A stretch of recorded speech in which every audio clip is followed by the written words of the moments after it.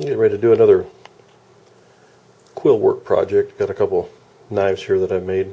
Got one out of a Fort Hood and one out of a kind of a lace and Novaculite. Uh, we've got some more deer sinew thread. Got pretty good uh, bunch of it made up. Uh, got our dyed uh, porcupine quills. Uh, once again, this is a porcupine got locally and uh, I them myself. Uh, just wanted to touch on something I noticed when I'm dyeing the quills this time was uh, not all quills when you dye them do they dye the same. They, the, looking at the yellow ones you have here, you notice some of them almost turned orange, and the rest of them are yellow, and some are in between. Here's here's one that's kind of a, got some yellow towards the tip, and the rest of it's uh, orange. So it, it doesn't all dye the same. Some of it may be that the the quills were some quills were older and some were just new quills on the porcupine and they dye differently. I, I don't know, there's different potential reasons. Uh, I dyed the colors not showing up good here with the light, but this is all one batch of porcupine quills that I dyed. This mess and I've sorted these out this section has a lot of a kind of a pink pink purple in it. This has just a few kind of pinkish in it and then this is almost pure black uh, using a grape color. Uh, same thing with the blue. I've got kind of a light turquoise and a darker turquoise but it was all the same batch uh, when I put them in to dye them so. So doing that uh, I came up with a couple designs here uh, just throwing these together, you can use all different uh, possible combinations, just a real basic one. But I've got, uh, showing you the yellow ones here, I've got just a little handful of yellow left, so I was wanting to incorporate the, the yellow into my design.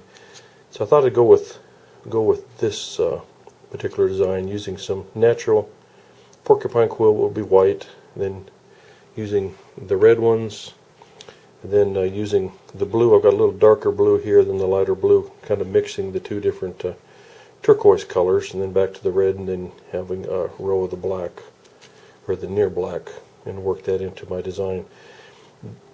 Didn't get my color dark enough on this, but uh, on this one, basically, I'm going to use the pink, pink slash uh, the purple uh, from here three quarters of the way up, and I'm going to do that on the, the darker blade.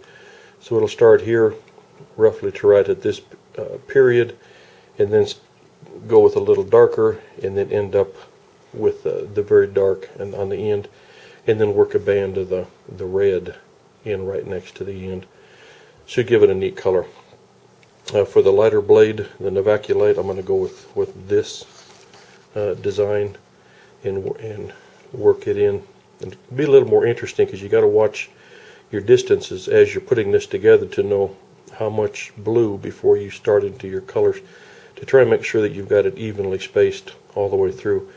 To want to try and end up with my yellow somewhere right in here because the end will be uh, right in here. So I'll go from here to here. So the yellow will be right in here.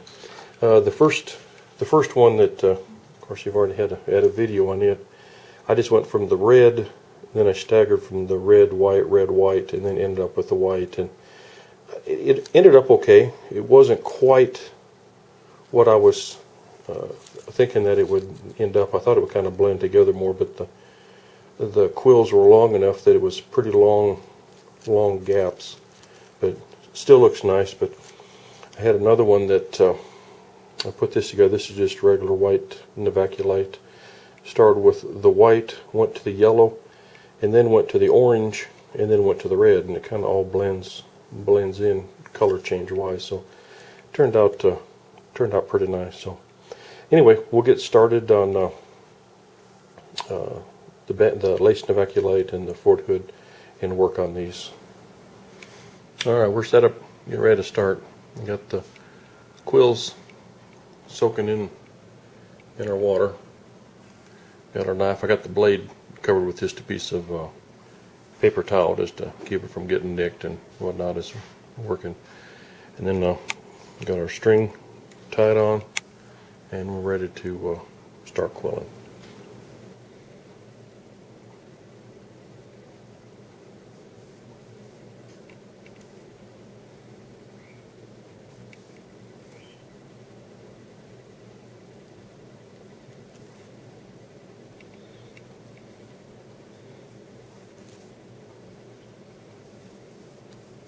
There's our first. Get this move so you can see it. If that's showing up good. There's our first uh, quill. Now, I'm not going to show show everything, but I'll go ahead and start uh, working these in.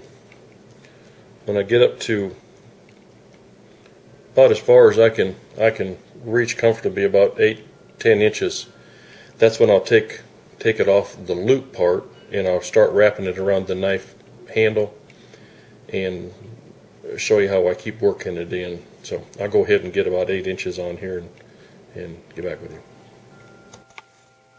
Okay we've got about 10 inches of, uh, of finished quill work.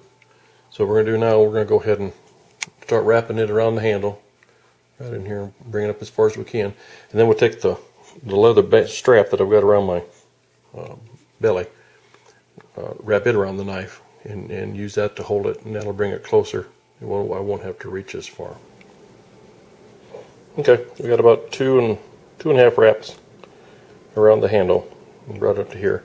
Now we can go ahead and we got room that we can reach it makes it easy to reach and we'll extend it up to here. We're going to go ahead and continue with uh, what we've got and take it up to right in here then we'll change and go to the little bit darker. So we're just a little over halfway. See what it's looking like. Uh, went ahead and put the little darker quills in, letting them soak in warm water and we'll start wrapping some more. Okay, we're about three quarters of the way. Uh, I'm going to bring the black up around maybe one more one more row of black or the darker. And then I'm getting ready to put the I think I'm going to go with two rows of red. I believe I've got uh, I've got enough red. I'm going to go with two rows of red and then one or maybe two rows of, of the dark again on top of that but we'll keep going Okay, got enough uh, of the dark now.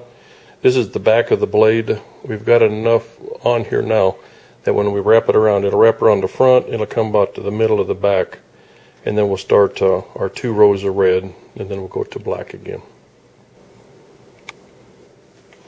Okay, there's our two two rows of red. You can see we started right here and came around. We already come around once. Now we've got enough to take it around again to the back. So that'll give us two rows of our red and now we'll just uh, we'll go back to the darker and finish up with uh, maybe two rows. I'll see what it looks like as I, as I bring it up then let's uh, we'll be done with this knife. Okay here we've got uh, got all our quills on. So we'll go ahead and uh, I'll finish wrapping the top with some sinew to to hold everything in. But uh, turned out pretty good well, there's the the finished blade. Turned out uh, pretty good. If we can zoom in there a little on the quill work. But uh, quill work turned out pretty good. I don't know if this shows up. Maybe the I'll take a picture of it in a little bit and it'll show up better. But you can definitely see the the lighter color in here, and then it rolls to the darker in the back. So I think it turned out pretty good. So we'll start working on the second one now.